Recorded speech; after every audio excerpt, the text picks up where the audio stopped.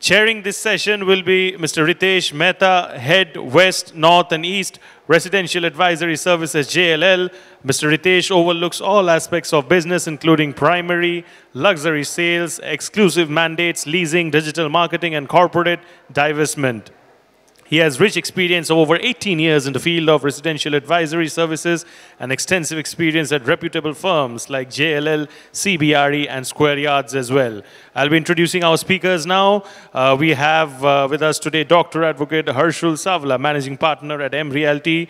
Uh, Mr. Harshul Savla is a real estate developer and an author as well. He's a Managing Partner of M Realty Suvidha Life Spaces, which has completed 2 million square feet of, of development across Mumbai city in the last 30 years. He's an associate professor and a PhD guide supervisor. Dr. Harshul is the chairman of statistics and research at CREDAI India and at CREDAI MCHI as well. He's also the chairman of business process automation at CREDAI National Youth Wing. We also have with us today Mr. Nilabh Nagar, Senior Associate Architect, Architect Hafeez Contractor.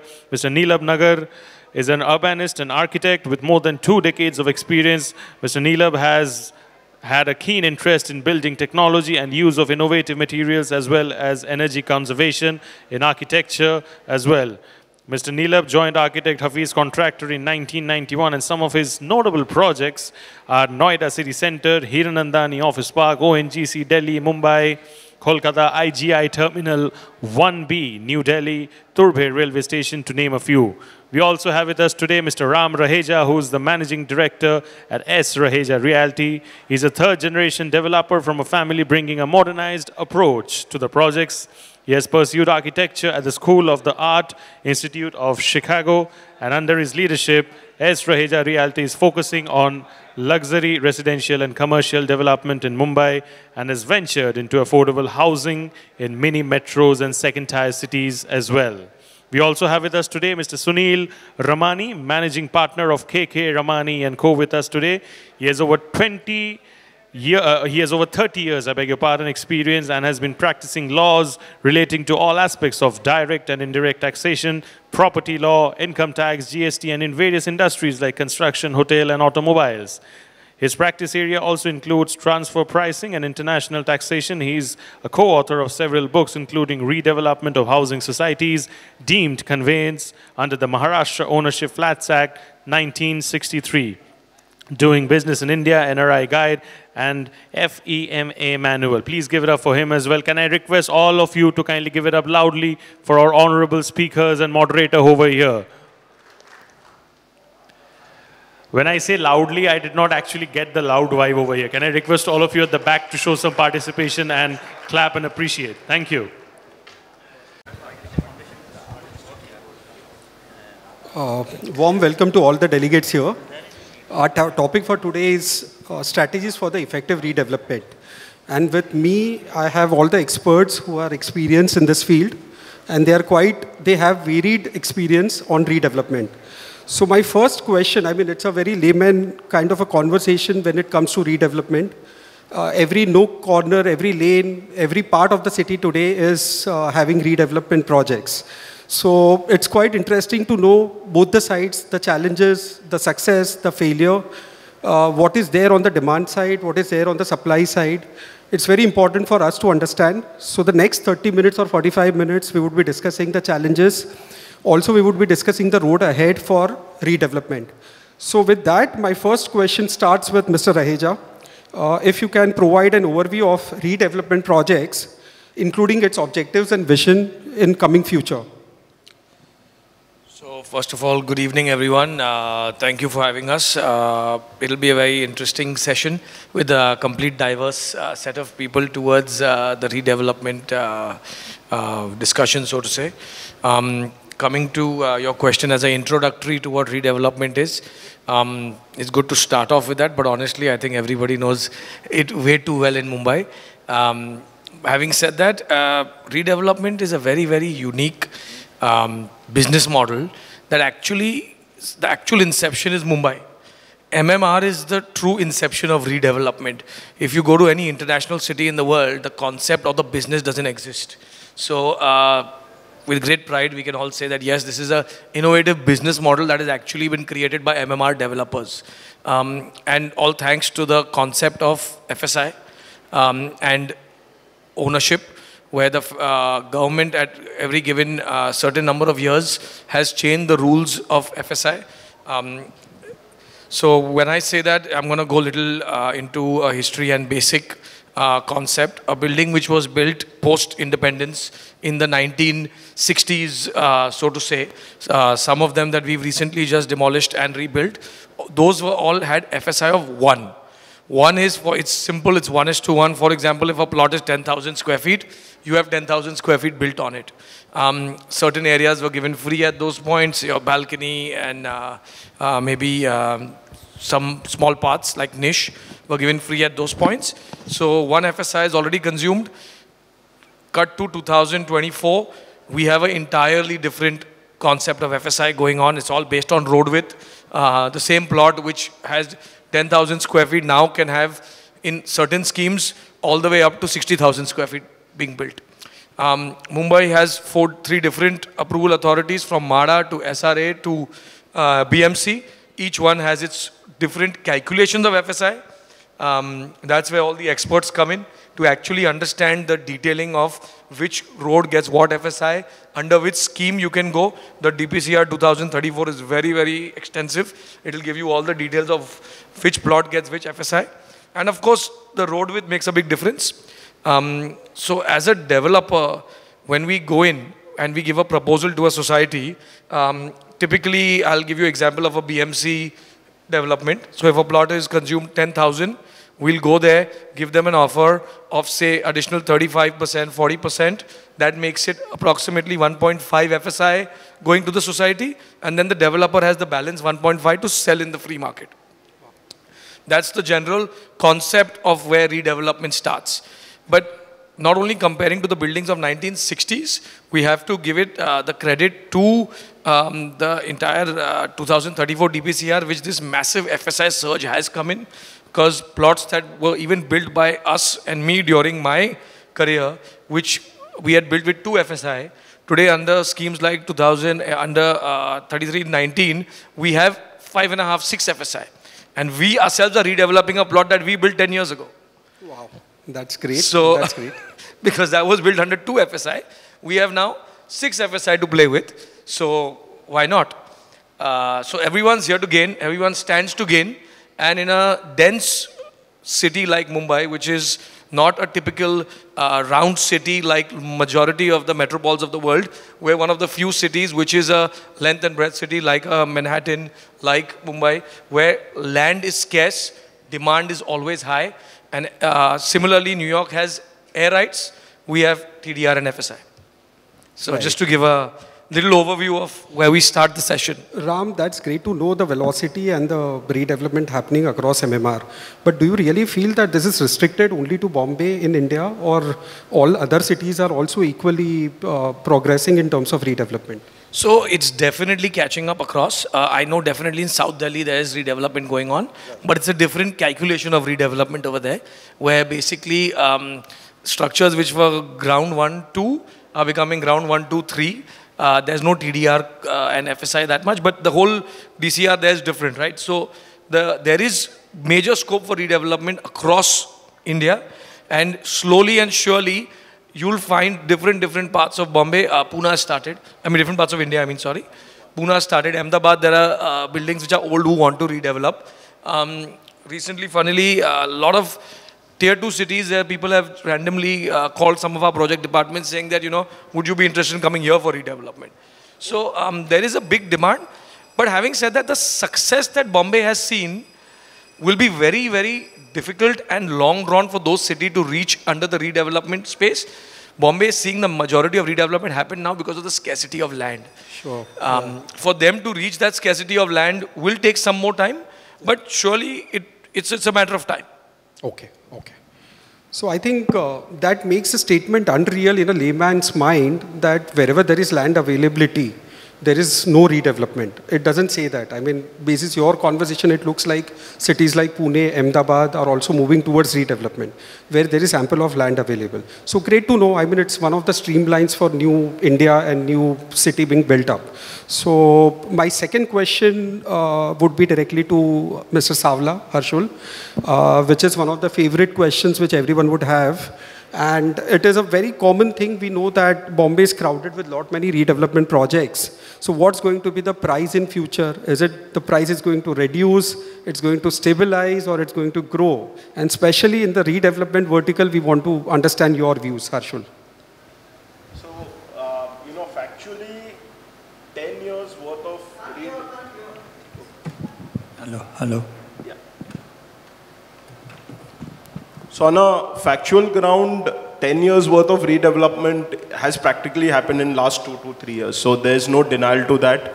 Uh, the jump of FSI has been there. So, you know, right from, uh, it's almost doubled thanks to schemes like 33, 11, 10, 12B, etc. So stock has also increased. But you should note about redevelopment is, and I was doing a study, uh, you know, back at CREDAI, almost 40 buildings worth of stock of redevelopment is equal to one mill land. Wow. That's... So the spread looks larger, but if you really put it in a perspective of a mill land, it's not really that great. Second, almost one third to 40, 50% of the supply goes back to the old members. So really, if you see, you count the number of buildings, but practically the supply is only half because the half is, you know, people who are coming back with regards to pricing, I mean, there's always a question that prices will go down because the supply is coming up, you know, pure demand supply. But if you really look, what has backed up this redevelopment surge? So three factors, rise of FSI, great sales post-pandemic, and increase uh, and decrease in the premiums. So the government premiums that you used to pay, thanks to schemes like 3311, you are paying actually lesser. So you're getting more stock for lesser premium. Now because of that, the surge has happened. Will the prices come down? No. I mean, for sure, purely if you look at the math, earlier it was only about location, location, location. Today it's about product, product, product. Even a Borivali market today is commanding a 40,000 rupee per square foot. So that purely states that people are not looking or favoring only one micro market. Every micro market almost, I mean, it's nearing to a situation of one Mumbai, one price. Correct. So I don't see really prices dropping down. In fact, prices are increasing in micro markets and they are almost naturalizing to one Mumbai, one price, except few premium micro markets where prices are an outlier. That's a great news. I think it's a green line. Uh, we all are happy knowing this, that the prices wouldn't fall. So coming back to the conversation, Ram, we had uh, on the first question. So the extension is we all know that generally the perception is the redevelopment happens only with the smaller plots, with limited FSI, with limited scale of construction. So what happens on your side of the table where the developers are seeing the feasibility and what happens to the margins to the developers? So uh, is it something that if the scale is low, the margins are low? If the scale is low, the margins are high? Is there any thumb rule uh, in redevelopment project? not, not really, but overall if you look at the uh, viability, um, if a certain amount of FSI is overconsumed, there isn't that much juice for us to give back to the member and thus have enough stock to, to sell. Thus, those projects are stuck. They're not able to get good developers to actually do it right. And that's where the whole concept of self-development and all these uh, different, uh, uh, eh, eh, you know, different developers coming from different markets trying to enter the field, try, try to get a good location because otherwise they wouldn't. So that's right. where the uh, factor that a lot of projects we see that are completely unviable on the table for us personally as a group. We say, you know, this, these numbers don't work. But that's for me. There are developers who are coming from different parts of Bombay, of MMR, from outside MMR, who are saying, I'll do it. I want to make a building in Bombay. I want my logo in the skyline of Bombay. I'll do it. But he may not make the profit or the margin at the end of the project, but it be, those become like the entry point. Yeah, I think Ram, you made a point. There are a lot of developers, cross-city developers entering Mumbai. Every everyone seeing the juice, uh, what's been heard, but actually the experience what you guys have, uh, I think we'll come to that bit also when the when we talk about the challenges. But in a nutshell, would you agree that redevelopment projects are a high margin business? Not really. Not really. Not really. Not a high margin. I think the margins uh, are low margin. For the kind of time and effort we put in under behind a project to actually kick off, Right. margins should be much higher.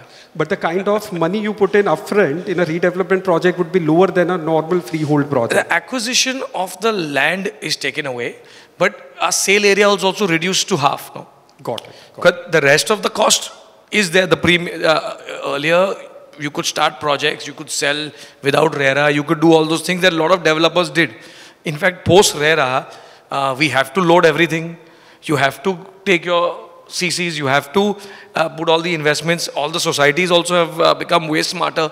They don't let the developer vacate the premises until a certain amount of investment is not done, until certain amount of bank guarantees are not provided. Absolutely, yeah. So the proportion of investment is towards the amount of sale as well. So if I was to buy a land, my stock of sale also would go up that much. Of course, yeah. So that point you made, I mean, it's an excellent point where you made very clear that these days uh, to acquire an acquisition also requires a lot of bank guarantees, security from the member's perspective, Yeah. which was not the case earlier. So I think from that perspective, the cost is going up. Yeah. And all the premiums have to be loaded up front before they vacate. Absolutely. So it's not like you can buy a land and build slowly and give the premiums later. Got So- it. So my next question is slightly off the market. It's more towards the legal thing. So I would request Mr. Ramani to answer this. Uh, are there any state government policies or any special act for governing the redevelopment projects? Can we take up the other two, the more burning? You remember we discussed yesterday, Yeah. you know, hardship and that uh, revenue and Of plus, course, yeah. That's more burning, frankly. This we take, take it later better. Where the money, let's talk where the money is coming in. Got it. Got That's it. more important. So, uh, yeah, so that is uh, whether the hardship, comp- hardship compensation and the rental compensation are taxable in the hands of members of housing society. So, ma- many a times we have seen uh, uh, huge safeguard money has been deposited by the developer. Uh, and at times there is uncertainty of uh, deliverables or it gets delayed or extended. So wanted to know that this kind of rental compensation and hardship compensation are taxable or not. Okay. So for those who are studious type, I was the one who sometimes comes first in a class or something. So I should take notes. For those who want to take notes, I have done the special arrangement. I will spell it out, what section, what Wonderful. Number, everything. Because I asked here, are you happy getting everything? So some people said yes, because there are some type who would like to get to the last word. So I'm speak, speaking out for them. There was a case in ITAT, which it is ITA number 3526 M2017 for assessment year 10-11 As well as there's another case which says is for Ajay Paras, Parasmal Kothari, ITA number 2823. This is for assessment year 13 14, which we say the period which got over on 13, March 13. So I'll just read out one small four lines out of the judgment which says, which says a lot about your transit rent. And it says really well. It says, as per para 5 of uh, Dalaraj Raj Mansukhani, ITA 32 3526, it says, in a, there's a displacement in a DA, and that is not a revenue receipt, but a capital receipt. So that's the first limb of the whole thing. Now go to the next one. It says this is paid due to the hardship faced by the owner of the flat due to this displacement of all the occupants. Clear? Now let's go on to having said that there are two ITAT judgments, Mumbai. Let's understand that is on the question of uh, TDS on transit rent. There is another thing happened very recently. This is done. This case was argued by somebody from our office, Mr. Anuj Krishnadwala, where the again I'll talk about citations. This is for people who don't want to go back to the chartered accountant and discuss on the dot. Don't say Mr. Ramani said so. I don't go say. I say this is where it is. That's better than better than that, right? So I say that there's a case of Viren Vashi versus ITO 1633. The date of the order also I'll tell you, pronouncement. 22nd 7 2024. I'm going that recent. Okay? So there, I'm telling the judges' names also. Narendra Bilaya, judicial member, Rahul Chaudhary, accountant member. There what happened, on the basis of what was uh, done in that earlier case, there was a writ petition filed. That, that's interesting. So that order came in on 15th of uh, April 2024, where the question came, let's understand the basics to get what I'm going to say later. So suppose I'm a charitable trust. Right. My income is not taxable. So the question comes here that can I go to the income tax authorities? There's a wing called TDS wing. I think by now everybody knows that. so, so in the TDS wing, so suppose your income is exempt, you put a, you have to put an application that I am a charitable trust. Please give me an order, a certificate saying that as and when I get my income from, in this case, suppose the hospital, then the TPA will pay money to them. So the TPA, when he pays the money, he'll get a specific order to his name saying that this X amount of money which you pay to this charitable institution, because his income is exempt, you don't deduct any tax. So that concept, I believe, a lot of people may be knowing, but I said for the benefit of others who don't know, why I'm saying that, there's a reason. Because this judgment of Bombay High Court is dwelling upon something relating to TDS. But while Okay. dealing with TDS, it is explaining you the whole concept of hardship and all the things. Right, Right, right. So sometimes when you get something as valuable as this from Bombay High Court, what will somebody like me do? Obviously, I put it in the forefront because that goes in your favor. Right. So I want to spell out what happens there. So there, they have clearly said that if there is no taxable income, say in transit rent and all these things, so then no TDS implication. Obviously, the one I, how I give example in a charitable trust, the same logic goes here. So there they have said, again similar lines, which was on this basis, uh, the lawyer from our office got help on talking about his case because there was something to back him on. Correct? Now what did they say there? That's important. They say transit rent is not considered a revenue received and is not liable to tax. As a result of this, there is no question of TDS, uh, deduction of TDS from the amount payable by the developer to the tenant. This is that clear. So when you have judgments like these, you can take somewhat, you can take Oh, decisions. that's great. That's great. And thanks for giving us the specifics with case laws. It's amazing. Uh, many a times, gentlemen, we have seen uh, in Mumbai, the development is very scattered. Uh, we see one redevelopment building, then we see a large layout, then again we see one redevelopment building. So I want to break Mr. Nagar's silence now, and I want to ask one question, that how will the redevelopment project enhance the surrounding community or the neighborhood? I thought I've been waiting. Uh, just to give you a little background, I come, I'm not original Bombayite. I come from Delhi. And so when you see Delhi, you see lots of nice open Correct. roads and you see this and you come to Bombay and you see this high rise, which comes to the point he was telling that why other cities are not getting redeveloped. Delhi has a height cap. Subsequent governments Okay. gave an, um, a mandate saying that the ground plus two can become ground plus three. So that becomes the only redevelopment which happens in Delhi. You, greater class will become three, will become four, so they get additional flat. Right. And this thing. And there is to be a concept called builder flats also, which means that the original bungalow could be broken down and then you could build builder flats. So it became three floors of builder flats and that, that is how the development happened in Delhi.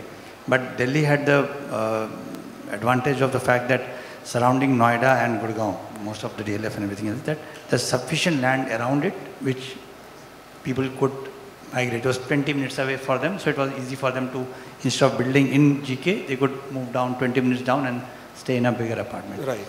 So those developments happened something around, if I context of Delhi, something, Noida was about 1500 acres, Gurgaon we built about 1500 acres. So 3000 acres of land Delhi had, or for Right. that matter Bangalore had, so everybody else. So they didn't have the same challenges as Bombay had.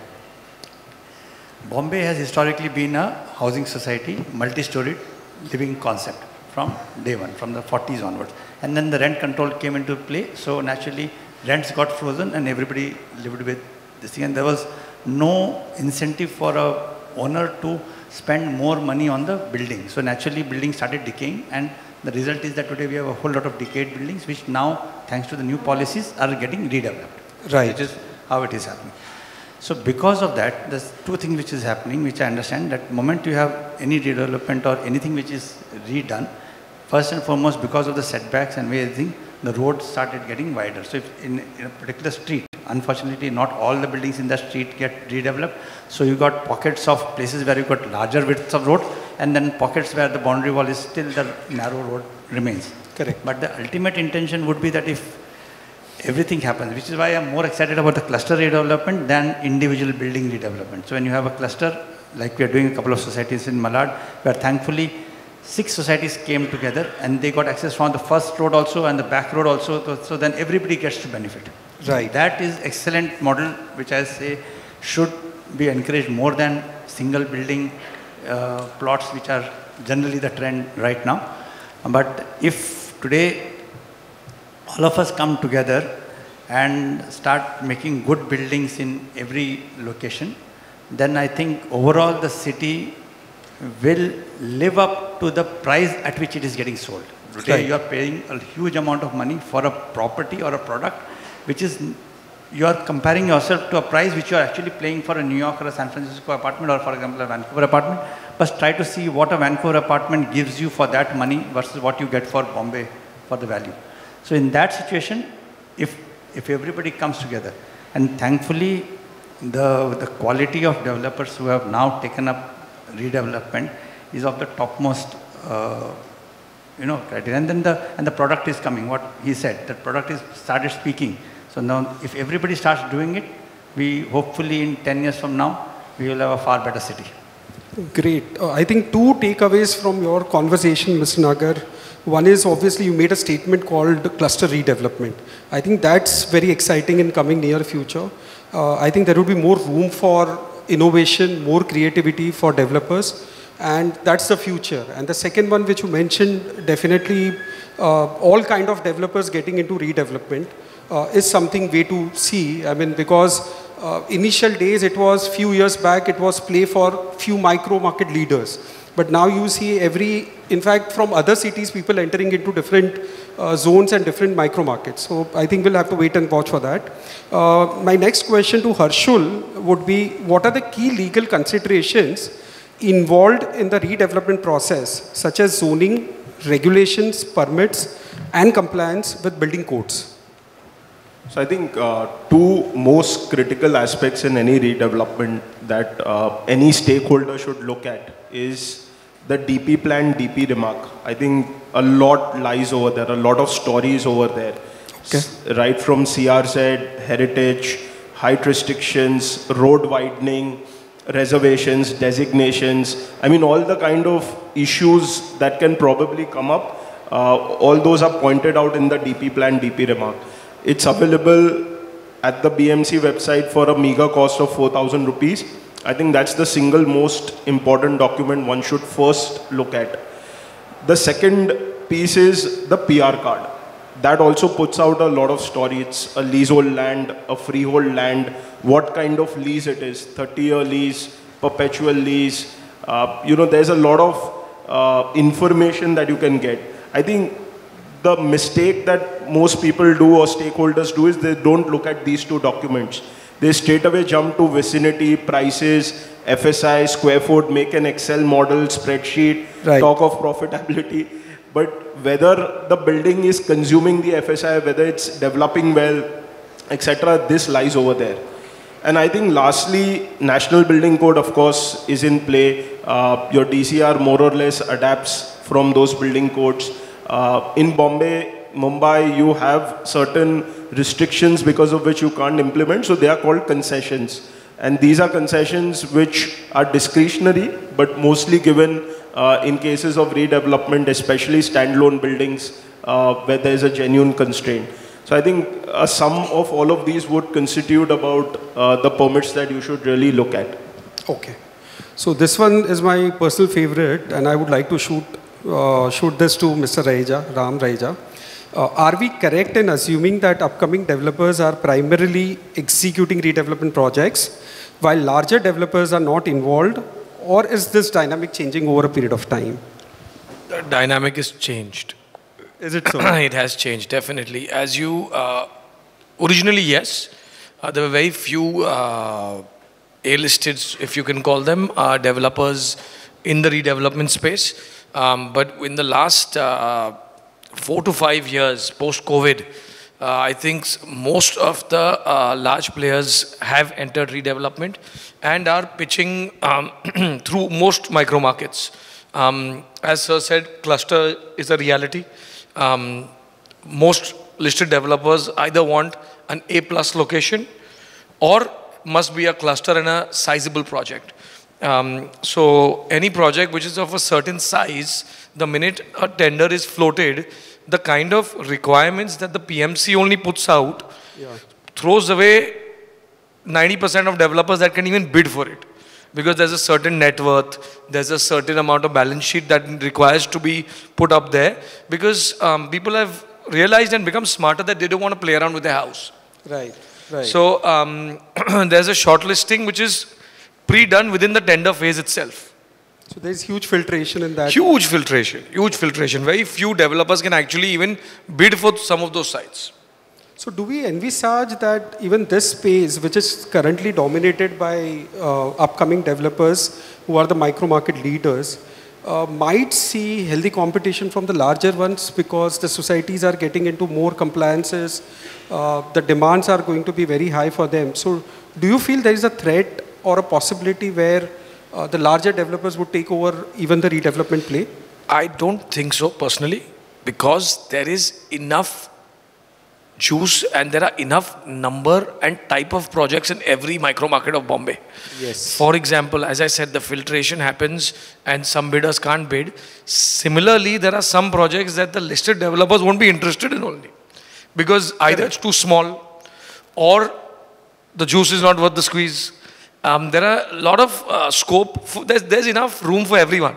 Okay. Uh, in every micro market, right? So the developers who are uh, concentrated and market leaders in a certain area will, and there's there's enough uh, demand, there's enough supply. As as I said, even projects that are not feasible, there are builders coming from outside and taking which just want to do it for the name. Absolutely. So there's, there's always enough. there's enough room for okay. everyone to coexist. Um, of course, there is a stark difference yeah. in every area. In a certain area that we focus in, within Khar Bandra, Santa Cruz itself, there are flats that sell between 40,000, go all the way up to 1,50,000. Right. Within one kilometer radius, right? Correct. Uh, within one kilometer radius, we there are projects that go from 40 all the way to 150. Wow. So, uh, project to project, lane to lane, location to location, developer to developer, there's a difference and there's a buyer. Great.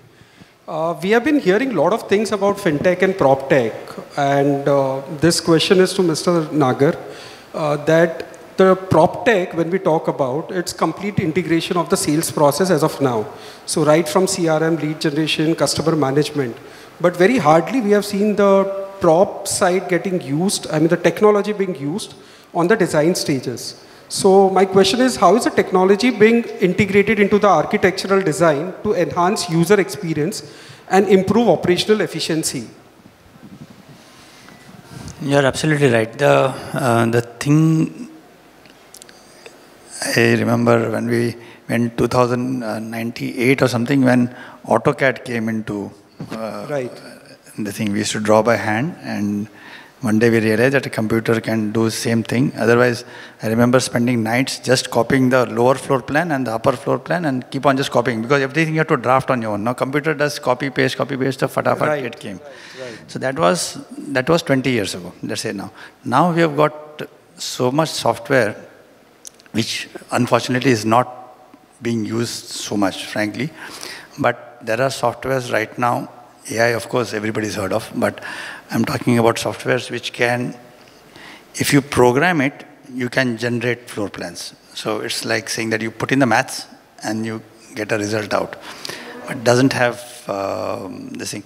And there is software which will now, some, some of the larger developers are wanting to go into technology and to concepts of which was originally 2D, 2D became 3D, 3D became 4D, now it's become 5D, and now come, people are talking about 6Ds, which means that there are six dimensions of construction, which includes the drawing, the estimation, the timelines, the construction, the methodology, everything can be now be generated on, on the computer, and you can frankly see it on day one, and it can happen. But it's not backward integrated into the procurement systems, right. which is what ultimate aim of all technology would be that if you put in something here and your procurement systems come in, people can quote on that job correctly, everything gets integrated.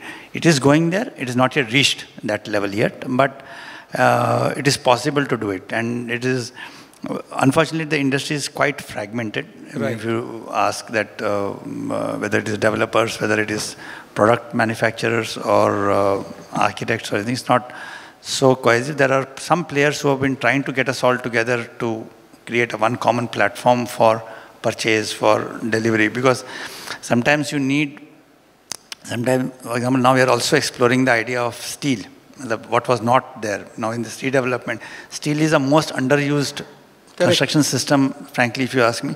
In a very tight site, steel makes better sense to, in terms of going into the narrow lane and to prefabricate and make a building happen in a small plot. But it doesn't happen because the, the prefabrication industry works on scale and for them, a single building in middle of Khar Danda is, doesn't make sense. Correct. So Correct. they're very happy. For example, we are building something like 60,000 houses in New Bombay. Their prefab is being used scale because we have set up plants which are 200 crore worth and they are and we've finished one building in a 14 story building in 90 days. Okay. So, uh, so that kind of technology exists, but now it's a matter of making sure that that technology reaches your uh, the the smaller plots and able to do it. There is one example which is happening in Andheri where a prefab is happening on a, in a very small flat uh, plot, uh, but he's having his own challenges. Trying to take a six meter trailer into a lane, you have to stop, you have to t- inform traffic guys much in advance so that Correct. the trailers start going in. So if, while you have produced it in a prefab, in an industrial setup, but it has to reach the site is a bit of a challenge still here. So that way, that, that technology versus reality, there's a little bit of gap, but it is getting Wow. there. 14 stories in 90 days. That's something way to go. Yeah. So again, coming back to uh, Mr. Ramani, uh, this is the question which will benefit the universe. Uh, please suggest clauses to be incorporated in the development agreement for the safeguard uh, and that, for the safe for safeguarding the timely completion of the project. Okay, so I'm going to deal with, uh, there could be many things because I think uh, Indian brain is very fertile, first of all, I would say. We are perhaps, as I seen, we are leaders and so many multinational, we have Indian brains. They're very good at thinking, right? So, so four things I'm going to deal with. A, I would call the head security premises. B, I would call it bank guarantee. C, I will call it liquidated damages. D, I will call it step-in rights. I'm going to deal with each one of them one by one. So let's understand why this is. Obviously, who doesn't want uh, a secured life? Everybody wants. I would go and say it lightly, I don't know how far you take it. It's like you want, once the redevelopment starts, you want it to work. It's Right. like marriage. You want to make it work anyhow. So, if it is that important, it has to work, there are certain things you ought to do it, right? So, coming back to where I started. The concept of uh, security premises while redevelopment is to ensure that when a developer is unable to develop the project as per agreed time, the society can take steps to sell the security premises and utilize the fund to complete and continue the project. Okay. Get it? Now I go on to the B part of my uh, bank guarantee. Bank guarantee is a financial instrument is used to secure a builder's performance and commitment. A bank guarantee, what it is in simple words, it's a promise made by a bank on behalf of a builder to help complete the project, which acts as a safety net. Mind you, the word is very important safety Okay. net for the society to ensure that they'll receive compensation, get support when it required if the builder defaults on the contractual obligations. Okay. Now let's go on to the other two. I talked about liquidated damages. Third, these are predetermined amounts agreed to be paid in a contract that a party will pay if they fail to meet a specific obligation, which is of course related to timelines. Everything is timelines. Ram is there, and I'm very happy he delivers always. so, so with liquidated damages, it serves. Now this is important. It serves as a financial penalty for delays in project completion or failure to meet agreed upon timelines. Okay. Right? I've tried to keep the language very simple because everybody should understand in one go. So now let's go on to the last one, important. I call it step-in rights. Now these means, these rights are such which allows a third party to step in the shoes of the developer if the developer fails to meet its obligations. What's the purpose of this? The purpose of this is that it protects the interests of the society if the developer fails to uh, perform his part. This step and right, in short, is to mitigate the risk and ensure the project progress as originally planned. Okay. Okay. So you get what you want. Okay. That was the intention. That's how these four clauses normally comes in. Uh, one more thing, if with your permission. Uh, Please. Because when I was discussing the last question, I realized that one important observation of Supreme Court, you know, we love quoting the Supreme Court. So, uh, Supreme Court, this is very important because I had a, uh, you know, the benefit once. Uh, the last, originally when the redevelopment started, right. I had the benefit of meeting Mr. Chidambaram because I had done something good for the department, the tax department. So there I told him that, you know, your laws are not certain when redevelopment first started. He said it affects only, you know, small, few places in India. So I will see. As and when I'll think of making the laws, I'll We're make it. still not certain. Huh? We're still not certain. Yeah, still not certain. so that was my grievance to him. He said, Mr. Ramani, we'll deal with it, but now it affects only Bombay. That's why I worried. I was going to tell him, Bombay means so much litigation in crores. And after that, the amount of litigation, in fact, the maximum litigation is on this topic, even in ITAT or anywhere else, right? Correct. So let's go further on this. So in a famous case of Supreme Court uh, of South Indian Bank Limited versus CIT in the year 2021, 130 taxmann, 178 stroke 283 it has said something very important for us as a country. We need to learn from this. It says that it talks about certainty in tax.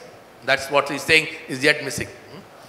So at para 29 of the judgment, of this judgment, it says, it quotes a gentleman called by the name Adam Smith in his book, Wealth of Nations, book number 5, chapter number 2.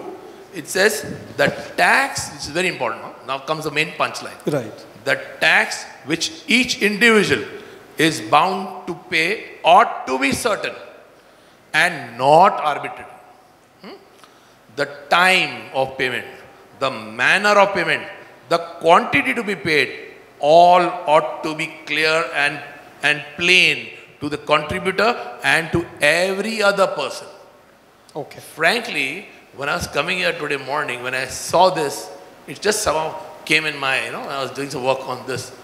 I felt if we go close to this, believe me, redevelopment will be such a, it's a breeze.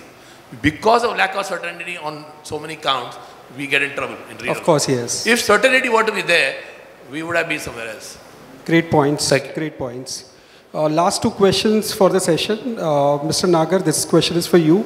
Uh, many a times we have seen the redevelopment projects are compromised on the design bit because there is some portion of handover to be given to the old tenants in the building because of which the designing becomes a constraint on the uh, sale component. So my question to you is what are the challenges, typical challenges or constraints related to architectural design for a redevelopment project? You're right. The, uh, the member, the existing member versus what you want to um, then develop, the sizes vary, the, the idea of what you want to give changes, and naturally that kind of affects the, the structural grid of the building, affects the what you come, and to some extent, I would say that our bylaws are are a uh, big question mark and that definitely doesn't address in any way the needs of the society. Hafeez has been fighting for it. Almost every month I know he goes to Urban Development Ministry to fight the case for all the developers. To it of course resulted in because of the fair amount of excesses that used to happen and that was put a stop to and it was put a stop to with so much stop that created, it killed all creativity for whatever reason it did. And now slowly some concessions have come in, slowly some things are coming in. So you could see, otherwise the buildings, office building and residential building was all looking same. Correct. To some extent, the flatness of the whole, um, the, the, way the buildings were built. But coming to your challenges, uh, it is, while it looks challenging, it is really speaking not because uh, tenants or the current members are also requiring, besides the fact that they want, they're getting certain free, let's say 35%, 40%, 50%, whatever is the developer. Right. But when you speak to them, you realize that they're also wanting to have a better space. Yeah, yeah. Correct. Right? So it is just not that first is the greed, of course, everybody has the greed. The developer has a greed, that the member has a greed that I want the maximum that I can do. But when you, when you attend some of those meetings with them, they realize that they're also looking for a good space. They might have us today, a, let's say a small um, 1 BHK or 350, 450 square feet. Right. But the aspiration is not 450. Aspiration is still 1200 square feet. Aspiration is still 1800 square feet. Why would you want to stay in a uh, 1200 square feet three bedroom and you know 1500 three bedroom will be better space so they need so there is sometimes you explain to them that if you come halfway and we come this thing, can you do it? So they have, I have seen occasions where the tenants have said, okay, we will buy the extra space. Right, right. When, it, when they do that, then the building starts becoming better because then you don't have too many of those offsets, too many of those things happening. But this is only in the case of very small plots where the tenant and the new sale has to happen in the same building. Correct. But generally, so far, thankfully, the projects that I have handled have had two separate buildings and they're slightly larger plots which I could accommodate two of them separately. So there isn't that challenge. But within the tenant building, of course, there are challenges because there's a 370 square feet flat, there is a 460 square feet flat, there is a 480 square feet flat. There's ridiculous amount of variations which are there. We tried to rationalize them uh, to the extent that in one project we had about 70 variations, but with discussions we brought it down to about 20, 22 odd, and they also agreed that we'll pay, developer agreed to give that extra space. So that way you kind of come across to make projects happen. Okay, okay. So uh, uh, I would, I mean, there have been a lot of challenges for development from the developer's perspective. So I would request Harshul to right from acquisition of a project till the execution of the project, I would request you to mention three main ch challenges which you as a developer is facing and how do you address this? So, you know, I'll put it out in three phases, acquisition, execution and completion, you know, principally. While acquiring, I think the title right. and the people who constitute the redevelopment are the biggest challenge because you know you have certain garages which are misused as shops you have people using terrace flats you have people who've enclosed balconies people who've enclosed otlas and now they're claiming extra space on area which is beyond uh, legal carpet. So you know right. people themselves are the biggest roadblock over there. So dealing with them uh, is one piece. Execution i think principally financial closure has become the most critical part. Okay Earlier, you know, you had the NBFC cultures and we had the finance session prior to this. Uh, you know, you would have uh, slightly more expensive capital, but they were at least funding your premiums. Premiums today constitute 30% of your project cost. Right. Now, given the way RBI is tightening it out, given the way RERA is playing it out, uh, if someone doesn't have capital enough to cover for approvals, and the initial cost, which is, by the way, 40% to 50% of the project cost, uh, then the only respite is AIF. And AIF are the Pathans. Uh, you know, they charge north of 18%, 20%, so it's not viable at all. So given that financial closure, someone who has the initial equity uh, should only look at the project. Otherwise, uh, a redevelopment also today requires a lot of uh, capital, you know, almost 40% of the project cost. Lastly, in terms of completion, I think the most important part is the experience that one gives to the customers. I think they are the future brand managers, they are the future brand that you intend to carry forward. And I think the experience that you give to them after you've sold the flat, I think is the single most uh, important challenge which I think most of us from the fraternity need to look at. Great points, Harshul. With that, I think we are towards the end of the session. Uh, just to conclude, we discussed a lot of things from the design perspective, from price trends, the future of uh, redevelopment. Thanks to all the panelists and for their great views. Appreciate. Uh, I don't know, are we left with two minutes for FAQs or you want to wind up right now? We can take uh, one question. Uh,